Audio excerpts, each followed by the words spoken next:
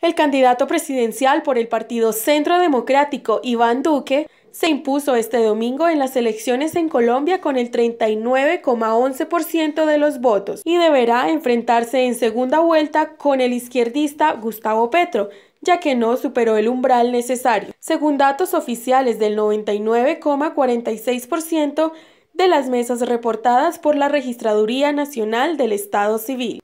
Petro, candidato del movimiento Colombia Humana, se ubicó en el segundo lugar con el 25,10% de los votos, logrando así superar a Sergio Fajardo y hacerse un lugar en la segunda vuelta que tendrá lugar el próximo 17 de junio. La participación alcanzó en tanto el 53,21%, muy superior al 40,65% logrado en la primera vuelta de las elecciones 2014. Fajardo de Compromiso Ciudadano obtuvo por su parte el tercer lugar con el 23,76% de los votos, quedando afuera de la carrera presidencial. De esta manera, Duque, quien cuenta con el apoyo del exmandatario Álvaro Uribe, enfrentando al presidente saliente Juan Manuel Santos, podría convertirse así en el jefe de Estado más joven de la historia del país con sus 42 años, si supera a Petro en tres semanas.